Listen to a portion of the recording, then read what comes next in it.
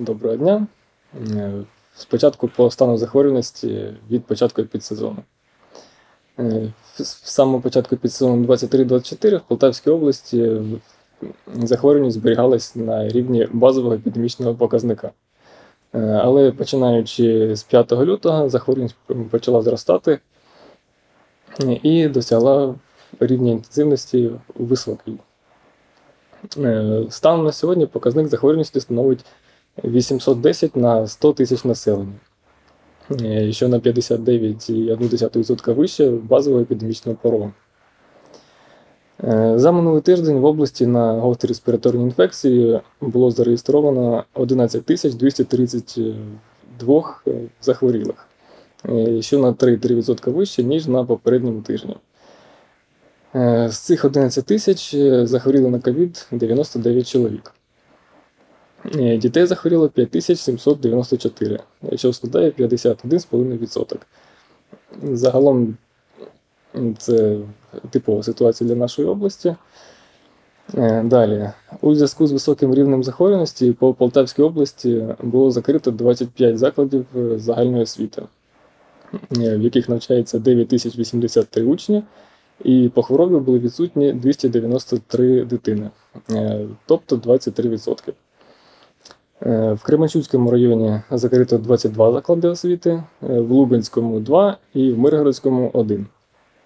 Е, Найвищі показники захворюваності у нас зберігаються в Сергіївській, Піщанській, Кам'янопотоківській, Новоселівській, Гадяцькій, Хорольській, Ланівській, Котлевській, Лубенській і Кобиляцькій окремих територіальних громадах.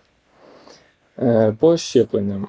Ситуація з захопленням вакцинацією в Полтавській області доволі тяжка. Е, На минулому тижні до нас на всю область приїхало 470 доз вакцини від грипу, тому вона в першу чергу для онкохворих та людей з груп ризику. Е, Також по ковідній вакцині по залишкам на область е, у нас лишилось, якщо не помиляюсь, менше 800 доз. Е, Але знову ж таки, для всіх бажаючих в аптечній мережі є вакцини як для грипу, як від грипу, так і від ковіду. Е, Щодо штамів розповсюджених е, по території області.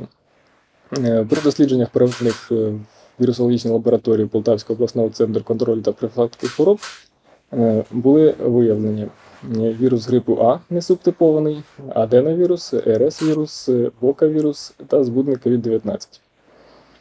Е, е, Також від початку підсезону в області е, реєструється в основному грип А, а саме грип А не субтипований в більшості випадків, трошки менше грипу А H1N1, е, ще менше вірусу грипу типу Б, і зовсім незначну частину складають хворі з діагнозами парагрип, аденовірус, риновірус, бокавірус та метапневмовіруси.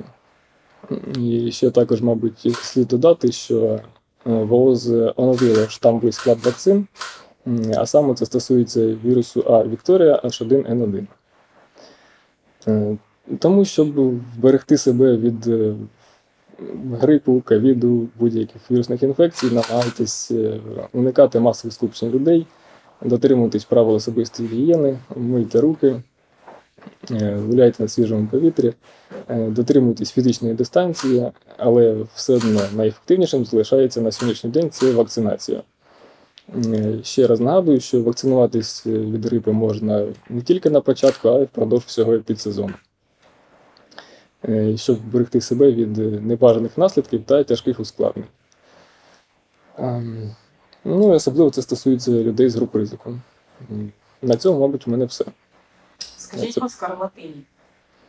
Знову в школах дуже багато захворівших і нині зараз не роблять е, карантин по цьому захворюванню. М, Карантин поки що не роблять, тому що карантин робиться при досягненні определен- певної позначки. Е, Поки що ця позначка не досягнута, тому карантину немає. Ну, раніше робили кожен клас окремо. Є захворівший клас, йде на канікули там чи на дистанційне навчання. Зараз такого немає. Ні. Ну, може, локально десь і проводяться, але масово ні. А взагалі яка кількість? Велика кількість на скарлатині? По скарлатині Я не пам'ятаю, чесно. Це скарлатина йде не як е, респіратор, вона подається, е, Боже, екстреним повідомленням. Тому вона трошки окрема, це окрема статистика, окрема табличка. Поки що даних немає в мене. Ну, якщо бажаєте, то можна пізніше або якось в текстовому варіанті я вам Так, можна в текстовому варіанті саме про. Добре. Дякую. Дякую.